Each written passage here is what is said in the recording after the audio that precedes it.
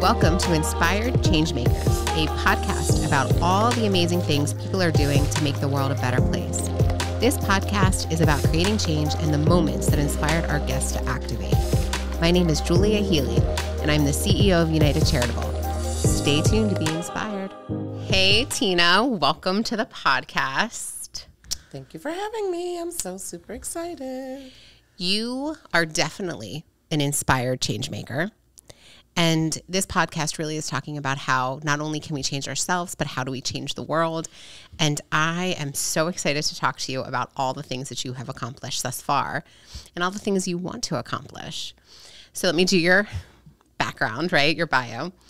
Tina is the founder and executive director of the I'm Just Me movement, a nonprofit 501c3 organization, and a councilwoman for Stephens City Town Council.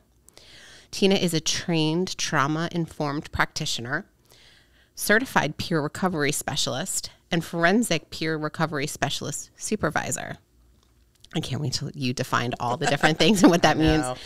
Um, Tina's experience with facing adversity and barriers have instilled a deep sense of commitment to making a difference in her community for her children, adults, and families through the IJMM Live Life Forward programs.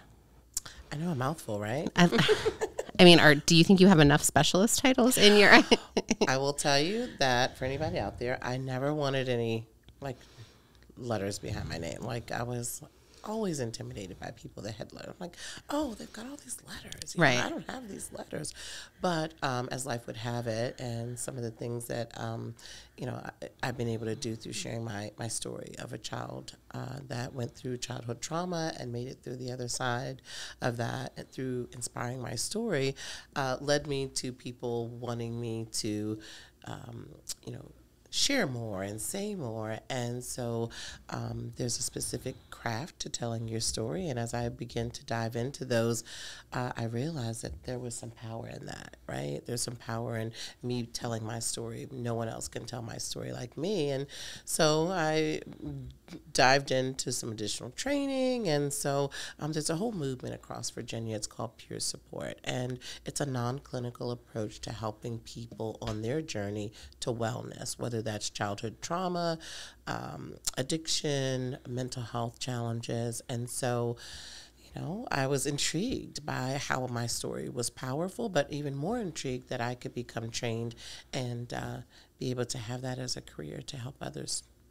So, yeah, let's start from the beginning. Where were you born? Alexandria, Virginia. Whoop whoop. so you're a local. So you've just kind of stayed here your your whole life.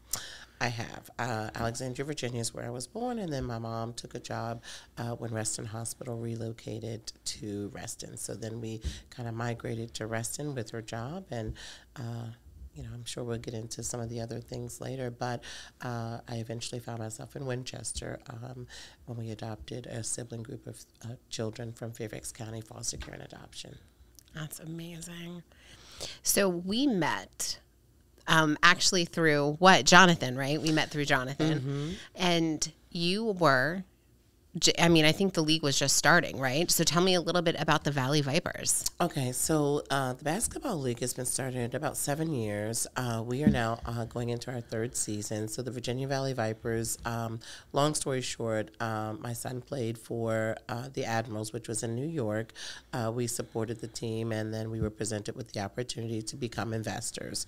So at first, we're like, no, you know, we just want to support the team. But we started to go to games and see how people in the community were coming together for their hometown team long story short, uh, at the end of the season, his goal was to, you know, come to Virginia and you know, relocate. And so we're like, yeah, come on over. Well, you know, and so at that time we would have been the admirals. Um, but as life would have it, uh, we um, he got a promotion and he was expecting a baby and so he is still the admirals. He is still in uh, he's in new jersey and uh, we pursued our our, our uh, dreams to be able to start a pro team right here in virginia. So uh, we came up with a name we did some marketing uh, put together a, a, a three-year plan that would help us kind of have that footprint on how we can be a successful business. Um, we reached out to the community, got their thoughts. We went to politicians and people in the community and said, hey, you know, we are the Virginia Valley Vipers, and if we can secure Shenandoah University as our home court, then this is where we'll be. And so um, we uh, started about uh, three years ago, and uh, this is our third season. It's awesome. So you guys are now playing in Purcellville, right? You've moved from Winchester, or Shenandoah University to Patrick Henry College. We did. So we've expanded our market footprint, um, and you know this is the perfect time to do it. You know, we were really excited about uh, being able to have our home at Patrick Henry College, and they've been very welcoming and open to it. And you know, so you know, again, you know, we want to be where we're wanted, and we want to be where we can be successful. And um, the community of Purcellville is actually a sports enthusiast town. Let's go. Woohoo! Um, what I think is really great too about you know each of your basketball games and how many games are there in a season? Twenty-four. You support a different nonprofit almost every game. We do. We got 12 home games and 12 away games. And uh, this year we'll be supporting Tree of Life uh, Ministries. And at each of our games, we're going to collect food. And those foods will, will be uh, distributed to families that are facing food insecurities. What made you want to add the philanthropy into the business? Uh, the philanthropy the philanthropic efforts kind of came baked into the cake. So, from our leadership all the way down. So, uh, Mr. and Mrs. Magley, uh, they are our leaders. Uh, they are uh, the president and then the founder, and um, you know it's built in the mission and the vision of the basketball league. Each um, each of uh, the teams have their own kind of uh, charity of choice and um, ways that they can uh, support their communities. And really, it's about loving on the community, and it's already baked in the cake. It came down to us, and uh, you know we are fulfilling that mission. Uh, you can't you can't have all the fun. You got to give back as well. Oh, I love that. And then so really, and you get and your son's on the team, right? He is on the team. Yep. And so tell me a little bit about him because I know he inspires you a lot. Um, he's on the team. He's a player. He's also a team market owner. Uh, when we made the decision that we would start this team, we wanted to make sure that we could help guys like RJ and around the community and in the country because we have people that have reached out to us from Ghana and different countries saying, hey, you know, we've heard about the Virginia Valley Vipers. We want an opportunity to play in the U.S. Um, but this is, an, this is an opportunity for young men to play the sport that they love, but to also give back. So he happens to be a team market owner, but he is still a player and he's in different roles. Um, but um, he inspires me because he represents what you can do at uh, this level, you know, being able to go to he has two degrees he's had some uh, challenges himself in terms of um, you know gaining his um, bachelor's degree and having a special style of learning and you know with a, a student with a learning disability and having to kind of um, share with the world you know before he went to college he said you know my whole life i've been hiding the fact that i have this learning disability and people will never know who i truly am if i don't share my story now. And so he, at 18 years old he found himself going on tv to share with the local uh, tv station that um, up to that point, he was known as the shy basketball player, and they called him the Quiet Storm. Um, and um, it, it, it's kind of inspiring to see him share his story and have those challenges, but also go to college and advocate for those special plans that he needed to obtain his degree. And so um, I think he represents, um, you know, many people that have challenges and they have to overcome and find a way to advocate. And so, um, and now he is an entrepreneur in the fact that he owns part of the team, right? He's and, a team market owner. Yeah, and he still gets to play the game he loves. And he's a nonprofit founder. So the nonprofit turned 11 years old this year. And It's a nonprofit that he started. It's called I'm Just Me Movement. Right. At the end of his interview, uh, when he was 18 and telling his story, he said, now I can just be me. So we're like, how do we encourage other people to be just who they are? Right. Show up in the world as their authentic selves. Um, so we became, uh, you know, uh, we were a fundraiser and then we became a nonprofit. And then now we're a nonprofit 501c3 organization that provides um, supportive uh, supports for youth and families and sharing our, our lived experiences. And he mentors young men and there's a whole kind of um, connection that he has with with kids, and uh, so his his degree is in sports ma- marketing uh, with a concentration on youth development, and being able to see him do that, you know, it's more than basketball. I'd like to thank United Charitable for sponsoring today's Inspired Changemakers podcast. United Charitable is a national nonprofit that focuses on guiding you on your charitable journey. Whether you like to simply streamline your giving or you like to create your own charitable initiative, United Charitable has the knowledge and resources to support you. If you'd like to learn more, check out the link in our bio. Right. And so now tell me a little bit about the councilwoman. So when did so I kind of you know we we started about where you were born. So tell me a little bit about your journey and then how did the journey lead to councilwoman? Okay, so I'm an advocate by nature. so we're you know since young, young, young, I've learned that if I'm going to have a voice, I need to assert myself. If I'm going to have need, basic needs met, food, security, things like that, like I have to use my voice. And um, once my once uh, my mom relocated to Alexandria, and then we um, later in life, Rodney and I adopted the sibling group of children. It took us to Winchester. From Winchester, I mean, our kids are thirty and you know thirty and up. I'll say right. Um, and Rodney and I have been married thirty three years. We've been we've been together. Congratulations. Thank you. Um, but I say all that to say, so once our lives um, brought us to Winchester, now all of the kids at, at one point have you know, they're all adulting. We have three grandkids. We're like, okay, we don't need this big three level family size home. Right. We need to downsize. So we started to look in the area to see what was available. And one day Rodney came to me, he's like, oh, I see this beautiful townhome. I see this beautiful townhome. I think it's perfect for us. We should go see it. Let's go tour it. And I was like, well, I don't know if we're quite ready to leave right now. And he's like, yeah, but it's available. So, long story short, called up the realtor, uh, viewed the home, toured the home, and he's like, "This is this is our new home." So we moved from the Winchester area to Stephens City. While I was there, probably about a three months or so, there was an election that was coming up, and so everybody's like, "Tina, like, they need someone on council." you know, the lady that's there now, um, she's actually going to take a job, and um, she's not she's not going to be on council anymore. I'm like, what? And so, long story short, they're like, well, you have to do it, and I'm like, why me?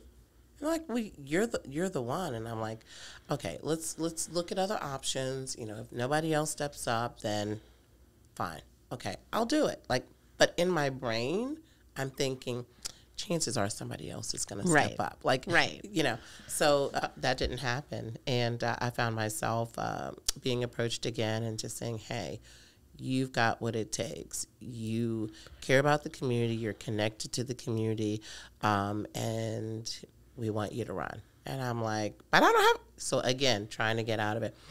I don't have a campaign manager. Like, there's so much involved in this. Right. how could this, like, right. So, and they're like, oh, well, we have a campaign manager and we've got somebody that will help you. And I was like, all right, all right, okay, okay. I, will I'll fill out the application. Right. so, fill out the application. Um, and, you know, I, I put in my bid for running and uh, I, I won. I was expected to lose, and I won uh, by six, more than 60% of the votes. And let's uh, go. I know. First African American woman to ever run and win a seat on city council. Congratulations. Yep, in Stephens City. There you go. I knocked on every door. Did you really? Oh, I still have the shoes to show it. I've got like holes in the bottom of my shoes. I knocked on every single door. We made a plan. We put, but see, some of those things that we do in our philanthropic worlds of things as moms, as cheerleaders, as all of the things, right, can be kind of folded into, you know, the political world of things. And I never saw myself as a politician, but I've always seen myself as wanting to advocate for what's right and wanting to, you know. But isn't that funny? Because you can, we were talking about this kind of before the podcast, but we can see ourselves as people that advocate, right? Or people that create change or people that lead. But then to actually give us the title of like for me CEO or councilwoman, that seems daunting, right? But all of that it takes to be those things, we already do, mm-hmm. right? But then to actually give the title, that's what causes pause, right? When you're like, wait, but okay, I'll just like you just like you said, you'll do well. I'll just fill out the application, and I'm not going to win, guys. Like I'm not. And now you won by sixty percent of the vote. Like and you know, but that's what it. But that's what it is to create change. So tell me a little bit about, you know, why then all the trauma. Why was that called to you? Like, why do you feel very called to do that that work? Well, the trauma work is important to me because I was a kid that grew up in some very hard times. My uh, mom, well, at that point, uh, by eight years old, my dad had died of a drug overdose. My mom was raising three children, three girls at that. She was doing everything that she could to provide um, basic things that we that we needed, and as a result, she started to deal with my dad's death in her own way, and she turned to alcohol as a way to um, to deal and to cope. And so, it put us in some very um, precarious situations. Um, and three girls, you know, and so and we were always taught you don't tell what happens in here. You know, we what happens here stays here, and we hear that all the time. But it's a true it's a true statement, and part of that was maybe embarrassment or she didn't want people to know that she wasn't able to provide some of the things that we needed. But um, long story short, uh, a, a mentor, a mentor. sh- Um, I went to school, you know, and she said, you know, what's happening today? You know, you look a little down, and I'm like, you know, again, don't talk about it. It's our Right. family secret. Like nobody needs to know. But she just so genuinely said to me, like, I don't know what's happening. Was this a counselor at school? She was a teacher. teacher. Okay, and where and what high school? Um, Alexandria. It was Okay. in Alexandria. Okay. And she said she looked me like in my eyes and she just Sincerely. said, I don't know what's happening. I just want you to know that I care. and what And grade were you in? I was 15 and pregnant at that point. Yep. So all of the things we had dealt with, we had learned how to cope. We didn't tell our secrets. We made through on life. My mom did the best she could, and still we're like, we gotta stay together. At the end of each day, my sisters and I would say, we just gotta come back and see each other at the end of the day. If anybody asks if we have food, yes. If they ask if we're safe, yes. Because those are the key words that schools look for, you know. Right. So it's like yes, yes. Even when we didn't, we said yes. And so um, I found myself in this situation. Fast forward as a teen mom and saying, I just found out I'm pregnant, and chances are, you know, six months from now, I'm not going to be able to hide this secret. Like, this is very concerning. And, and growing up at 15, you know, they said, You'll be 15 and pregnant, you'll drop out. And so I had so much on my shoulders that day, just the day before finding out I'm pregnant and now having to go to school. And her just saying, like, I care. And then something me, in me just said, just tell her. You're, you're not going to be able to hide this in six months. Right. And so, and how did she handle it, and how did she help? So it was the opposite of what I thought. Like I said, a teenage mom, so many labels on you, right? And in Right. Section 8 housing. Um, and she said, I said, well, you know, you want to know? Okay, here you go. Here you are. Basically, like, I'm just going to give it to you. This is everything I got. Everything from eight years old, everything I wanted to say, everything Yeah. I couldn't say. So I just said, I'm 15 and I'm pregnant. And I'm probably going to drop out of school and I'm probably not going to graduate and I'm probably going to maybe die of a drug overdose myself. Or, uh, like, there were so many things that I was putting on myself because society told me that I would be those things. And so I just kind of let her have it. And she just looked at me and she's like, I was like, go ahead. I mean, she, she was Right. like paused, like, like, what do I do with this, right? And I just said, "Go ahead, just tell me how irresponsible I am. Right. Tell me The all judgment, the things. all of it, right. And she was like, and I said, and she said, Tina, you're still going to graduate. And I'm like, really? Like that's your answer? You're not going to tell me all of the? And she was like, no, I still. You can still graduate. You can still go to college. All these things that you want to do, like, and I had already talked about all the things I wanted to do when I grew Right. up, right? So she had, had all that back Yeah. history. But she was like, I was like, you don't believe, and she was like, I don't believe any of these things that you're telling me. And that, and it's that one person. It only takes one person. To look you in the eyes and say, I care. I want mm-hmm. to help. And she showed me. I walked across that stage. I was on track for graduation. I had my son, and he has. I have pictures of him in my graduation hat. And I went to college. And you know what? When I went to apply, guess who was there? My teacher. She not only said you will you will graduate, and you will make it to college. She showed me. She took me there, and I applied, and I became the first. Um, the first person in my family to make it uh, to college. First generation, yeah. Okay. And where did you go? I did Northern Virginia Community College right in Sterling. So Yeah. that was my first experience with college. Um, and so getting into the trauma work, it just takes me back to that feeling of saying, there's so many Tinas in the world. What if there was just one person Mm-hmm. in the in their lives that could look them in their eyes Right. like my mentor did and i wanted to be that person Right. so you know it's kind of a, a you know it, it, it's my it's my passion it's it's in who i am and um, and so the trauma work allows me to continue to tell my story to heal as well but also to help people on their journeys to know that you can overcome these things you can end generational cycles of trauma and it starts with just one decision so my decision that i would not want my kids to kind of go through some of the things I did, my decision in that impacted my children, my grandchildren, and Of just course. with just with one one generation, one one decision. So the trauma work's important to me. Um, it's powerful, and I've had to overcome a lot of things in my life, uh, and so giving back through sharing my story and providing these mental health supports for young kids and the parents because we also provide parental um, classes as well because there are parents that just don't have the skills to give and that was my mom.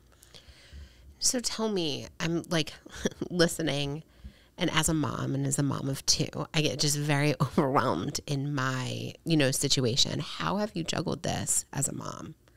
How have you been able to launch your kids into the world and develop a nonprofit and to raise a son that at 18 years old realized that his voice was so important? Like, what is your secret? two things one is my husband Okay. I wouldn't be able to do anything without him. I mean, it is, I mean, we've got 33 years of growing and learning and, you know, getting along and not getting along and living life and, you know, all of these things. But, you know, I wouldn't be able to do any of that without him. And I also will say that I, I believe there's a higher power that guides and helps me kind of eh, be at center with myself and realize that you know I'm not alone that I can conquer things I can overcome things and that even though sometimes that 8-year-old Tina shows up you know because you know let's face it I, I'm not perfect. Right. but there are times when I feel inadequate there are times when I um, need a little support myself and having a partner uh, at the end of the day that's like listen I got you. You're okay. Right. like that makes a world of difference So I have been with my husband. We've been married 11 years and but together 19 years. It'll be 20 years in July of 2025. congrats Thanks. Um, but what I've realized is being able to tell him the crazy. That has been something that I am be have become, I guess, now more than ever, very thankful for. Because you're right, you do have that voice or that low points where you worry about things that you necessarily don't need to worry about, or like, do you know all the things that go through your head? And it's like I tell him the crazy, and sometimes he'll just look at me and like, like that thought actually came through your head. Do you know what I mean? Like he'll just kind of look at me like, Julia, you don't think you can accomplish this? Look at everything that you've accomplished, right? Like, and it's so it's really funny. So having that partner, having that support has really helped you become an entrepreneur, right? mm-hmm. A council city woman, yes certified and doing the work that you really believe in, and running your own nonprofit. yeah That's, I mean, that's quite an accomplishment. And so, what would you like to see the Valley Vipers give back to the community? Loudoun County? Oh my goodness. So we've already started hitting the ground running. The, the moment that we found out that Patrick Henry would be our school, we were like, oh my gosh, how do we help interns here be able to you know get in the field experience? Yeah. We've already hired our statisticians. They are students at Patrick Henry College. We found out uh, through going to the um, uh, the town office that uh, to do to acquire the paperwork. Um, we found that there's a food insecurity right there in town, and there because there was a box that said "Tree of Life," and I'm like on my phone googling, I'm like "Tree of Life," what is that about? So I'm looking at, it, I'm like wow, they are providing meals in the community. They're, they have volunteers that come to help them package meal, and I'm just like, oh my god, well, like I got to learn more about this. Yeah. So I, immediately I was like, I got to. So when I left that um, the town office, I you know, and actually I um, ended up learning about it from Mayor um, Alon Stanley, and he's like, yeah, Tree of Life is just you know, right? If you go out, I was like, okay. So in my mind, I'm thinking, little does he know, like I'm going there right now, like I, because I'm an actionable person, and I'm like, when I get to thought, I was just like, But that's what makes you successful because they don't just stay as thoughts. The thoughts turn into action plans, right? They do. And then you work your work plan, right? You work that action plan. Just even in that, like you drop the bomb. Yeah. I just, I talked to the mayor about what the city needs. I mean, seriously. Could you imagine if all business owners came in and went and talked to the mayor about, hey, what does this community really need? You know, like that, again, that just makes you such an inspired change maker. But seriously. "Oh, thank you. And so, how many people do you want? So, what is the what can the arena hold? How many people can attend the games? So I keep hearing all the like, I don't know if they're trying to hype me up or they're just like, oh yeah, yeah. It's such a sports town. The Cannons, which is a, a baseball team, Yeah. pro team, has anywhere from 700 to 1,000 attendees at their games. And we've gone there. We've yelled our brains out just this past Love season. it. Um, so we're like asking people, we're like, how, how many people do you think we'll have? So I, I was like, Patrick Henry, how many people can it hold? So we went yesterday. We mapped out, you know, how many people, where they Yeah. can sit, where the suites will be, and Yeah. uh, it, it can hold 700 people. So it, we could come to a point where um, people, it, there's going to be a high demand for games because people are going to come in uh, and and get their seats, and there may possibly run out of space. We'll have standing room only. And the good part about that is then when you know you attend that game, you know that this that the Valley Vipers give back. You know that it cares about its community, right? Yeah. You know that you've collected women's coats for the shelter. You know, I mean, you've done Mm-hmm. so many different things. Can you talk a little bit about the Kids Get In Free initiative? Oh my gosh. Thank you very much because it's like my baby and we weren't sure it was going to work. But for two years, we've been really successful with being able to have kids attend games free. So the adults pay, so they come with a paying adult, but kids are absolutely free. We don't charge kids at all. And for two years, we've been able to do that. And we're so grateful and thankful that the thought kind of came to fruition, but we wouldn't be able to do that without our sponsors. Like, we had this wild idea took it and ran with it. It was successful for two years. So we're like, yay, wonderful. We want to continue that. We're going into our third year here um, as an organization. And thankfully, uh, United Charitable, thank you guys. I'm going to Yeah. do a shameless plug here because you guys were the very first um, entity that reached out and said, hey, you guys have this kids initiative. We want to be a part of that. What what does that look like? What do we? What can we do? I would like to thank Athletes Charitable for sponsoring today's Inspired Changemakers podcast. Athletes Charitable offers a concierge membership service that provides the tools and resources to build a legacy through service. Our athlete led team has the first hand experience and expertise to provide hands on support that simplifies the entire process for athletes and entertainers to reach their social entrepreneurship goals and create lasting impact in their communities. To learn more, check out the link in the bio. Because my big thing, and, and you, if you've listened to the podcast at all or whatnot, my big thing is I really think if you show somebody what their life could be or what they could accomplish, it opens their mind, right? And so now you're showing kids that they could make the NBA, but there's also other places where they can still play and live their passion and be part of a team. And I've talked to a lot of sports players over the years, right? And the number one thing I hear that they miss, they miss playing, but they also miss the camaraderie. They miss getting on the bus, right? They miss like the the what is it? The music, the hype music that you play, right? Like the hype music that you play. Yeah. The connection, being on the same team with somebody, working with somebody. And it's all these things that sports really gives you the capability of doing. So the fact that now you are getting to open people or especially kids' minds that this is a possibility for them and they can see people and um, from what i know of your players they go and they kiss all the babies They right do. they, they they slap all the hands Yes, they right they do. sign all the autographs and it, they really connect with their community and i think in this day and age that that connection and that community is so important and I'm actually really proud of Loudoun Sports because not only do you have now the Virginia Valley Vipers, right, but you also have the Cannons and you have to have Loudoun United. And, Yes. and I've participated in and brought my kids to a lot of those events, and it has just been really fun to be able to see people living their passion. I love that. And we've gone to games too. We just recently went to a Loudoun United game, yelled our brains out. I was like, "Ah!" Right? they were down zero to one. And then they came out and we're like, but I'm yelling, like, yay. Right. I'm so excited. Um, but you're right. Sports has a very unique way of connecting people. And I know right now we're in the middle of an election year and things get tense and crazy sometimes. But sports is a uniter no matter what political affiliation, no what- matter what genre, genre, no matter what age you are. Sports really has a way of connecting people. And you know, growing up, I, am a diehard Philadelphia Eagles fan and Philadelphia Phillies fan. And growing up, you know, I will say there was a really difficult point in my parents' marriage, but we had season tickets to the Eagles, and I. Knew, like I knew my parents were getting divorced like when I went away to college like so there was like you know a couple of years there where it was just not the most pleasant but we would go to those games and I would be so thankful that the Eagles were playing because I knew that whole card right there. We were all going to be on the same team. We were all going to be cheering for the Eagles. My parents would have the best time discussing whatever was going on, right? Like, you know, Donovan McNabb, whatever was going on.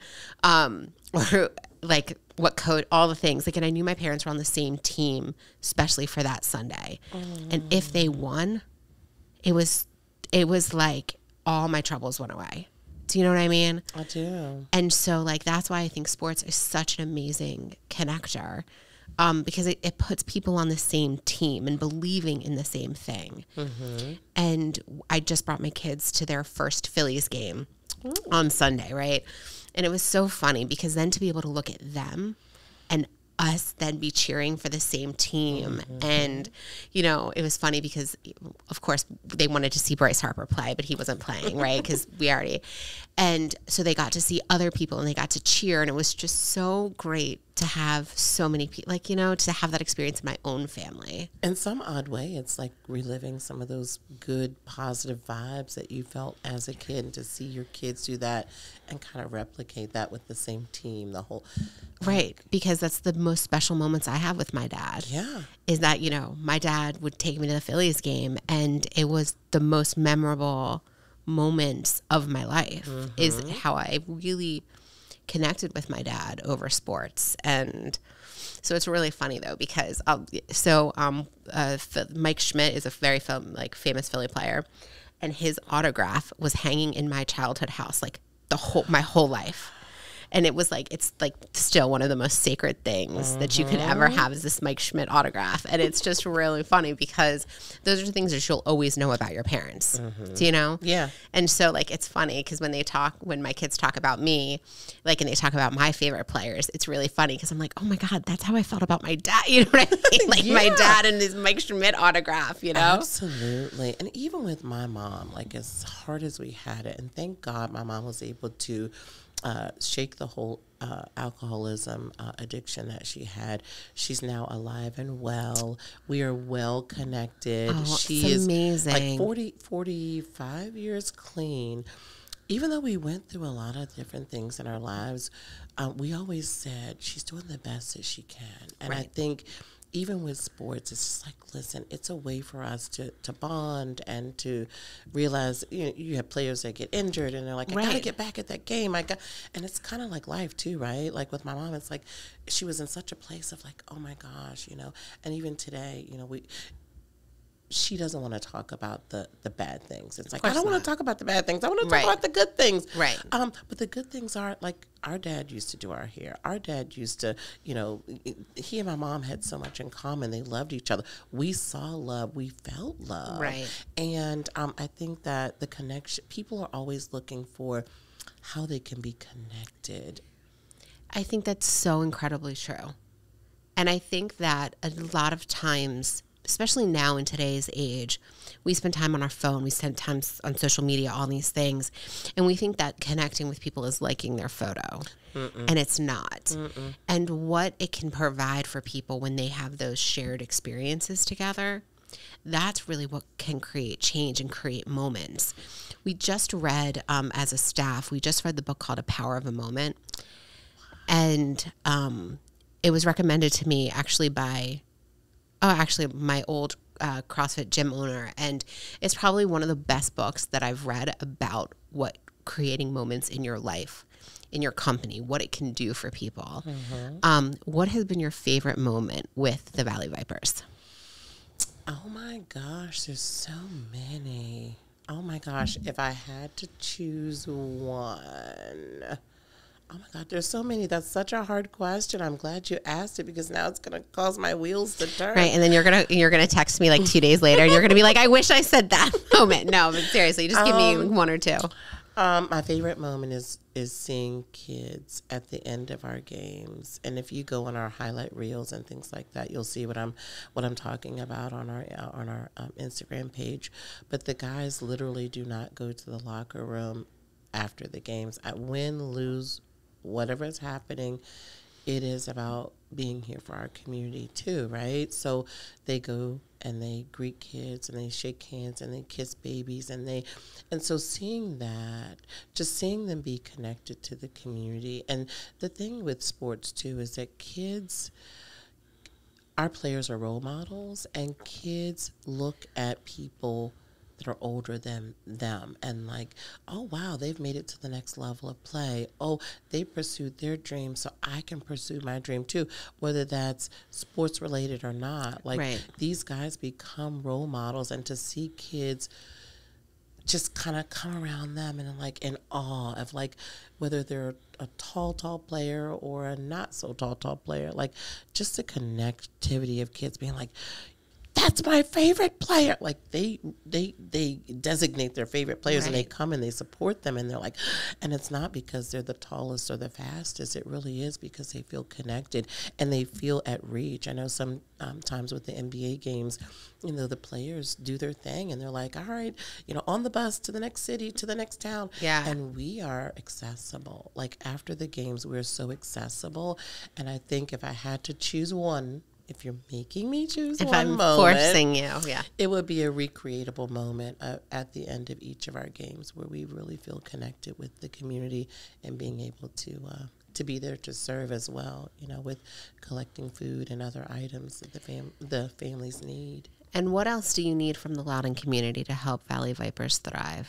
All right, we're at a big, big, big feat right now with the Kids Getting Free initiative. So you guys out there in the in the uh, internet world, um, you know this will be a, a, one of our greatest feats. You know because we are coming to a more dense population, and because we want to definitely achieve our goal of getting kids in free. Um, and with our Kids Getting Free initiative, we're going to need sponsors. We're going to need some volunteers. Um, we we want to thank uh, United Charitable for stepping up and being our first. Let's go. Uh, Kids Getting Free Initiative uh, sponsor, but we, we know that uh, in order to meet our goal of kids getting in free, all kids uh, during the season, uh, we would need sponsorships. Uh, and so, if you would like to support our Kids Getting Free initiative, uh, we'd love to have you. If you are a kid or a family um, that knows of anybody that wants to showcase their talents, we have uh, 12 home games and we want kids to come and sing the national anthem. We're looking for talent. We can do, we have 15 minute timeout, uh, um, I'm sorry, half times. So we can showcase, you know, the, the young kid that knows how to juggle or someone that knows how to do magic tricks, whatever whatever that thing is, whatever that mojo is of, of kids, we want to kind of highlight um, them during our halftime. So if you guys know of anybody, uh, you know, we've got 12 home games and we'd love to be able to, to do that. So um, what else do we need? Uh, we need you to share, share, share on social media. We're trying to get up our followings and our likes. Not that that's the everything, but Yeah. it does help us as The awareness. The awareness piece is huge being able to do that because we are expanding our market footprint. And where would we buy tickets? Like, how do we buy tickets? You will buy tickets online, and currently we have uh, courtside seats that are uh, we're going to be rolling out first. So we have courtside seats. We just did yesterday. We did the whole plan for it. Um, if people are interested and they want to get courtside seats, they can reach out to me personally. Okay. Um, because we have all kinds of fun things that we can do. Right? We have um, nights. We have all kinds of things that we can do for for corporations and people that want to. We have birthday parties. We have all kinds of things. So um, you guys can follow us on our uh, Instagram. You can also get information on our website at www.virginiavalleyvipers.com. Awesome. well, Tina, thank you so much for being on the podcast today. I loved just hearing your story and just really being super inspired that, you know, you can really have it all. you can have it all and you can make change, but it also takes the vision and people. You know, it takes a team sometimes. You know, I, I wouldn't Yeah. be able to do all the things that I do uh, with the organization without our team. But I love the inspired change maker uh, theme. And when I saw your podcast, I was like, oh my gosh, I totally believe in this. I've got to, got to go on and meet Julia. And um, so thank you for your time and thank you for believing in us. Absolutely.